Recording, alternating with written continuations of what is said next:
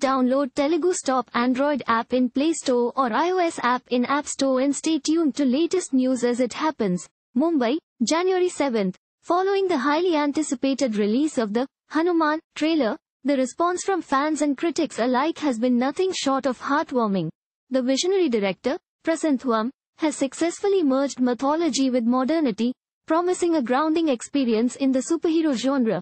As the excitement continues to build up, the creators of Hanuman have something special in store for fans. A grand event is planned in Mumbai on Monday, January 8, promising to be a spectacular celebration of this unique cinematic venture and will offer the world an insight into the Prasanth Varma cinematic universe. The trailer, a tantalizing glimpse into the world of Hanuman, has set new standards for superhero films with its cutting-edge technology and Hollywood-style effects. Teja Sajja, portraying the lead role, embodies the essence of a modern superhero infused with the spirit of Hanuman. The meticulous effort put into crafting each action scene hints at the level of detail that awaits audiences. Director Prasanth Varma reflecting on the project, stated, The Mumbai event on Monday, January 8, is our way of reaching out to the heart of Hindi cinema and the global audience, fostering a connection that goes beyond borders.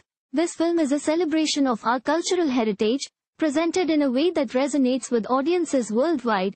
The high-tech visuals position, Hanuman, as a trailblazer in the arena of superhero cinema, making it the first of its kind and a stepping stone for Indian cinema. Hanuman is presented by RKD Studios, Prime Show Entertainment, Niranjan Reddy is the producer of the film, Venkat Kumar Jetty is the line producer.